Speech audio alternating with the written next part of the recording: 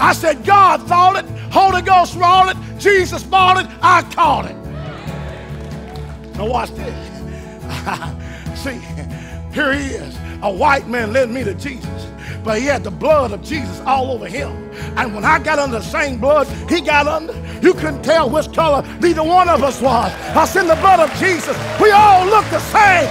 Somebody help me up in here. In the blood, we all look the same. Am I right about it? And uh, when you get fired, it humbles you. I spent 430 days outside the game. God has brought me full circle and changed my life. I was dead and He saved me. And so I'm a transformational coach now. It's not about wins or losses, it's about love. It's about building men, building relationships that'll last forever. I got a second chance. You know, there is no greater honor, and this is, I could preach. It's what I wish our, our country would get back to. There's no greater honor than to sacrifice for a brother. The soldier fights not because he hates what's ahead of him, he fights because he loves what's behind him. It's time that we start thinking about what's behind us and stop being selfish as a church being willing to step into battle. Folks, we're going into battle, and it is not going to be easy, but we will be victorious.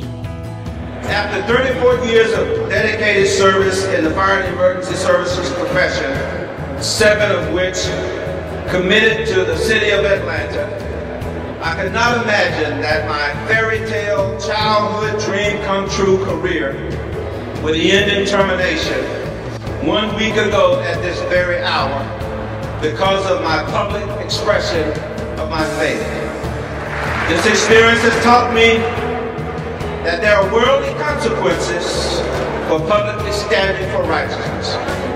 But I stand before you to say that the kingdom consequences are far greater and more glorious than the worldly consequences.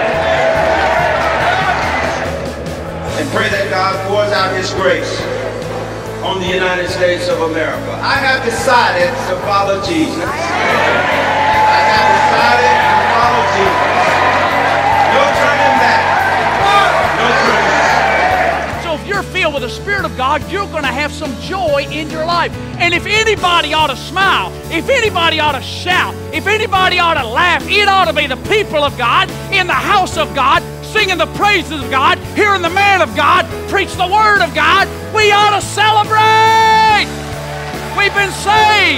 Hallelujah.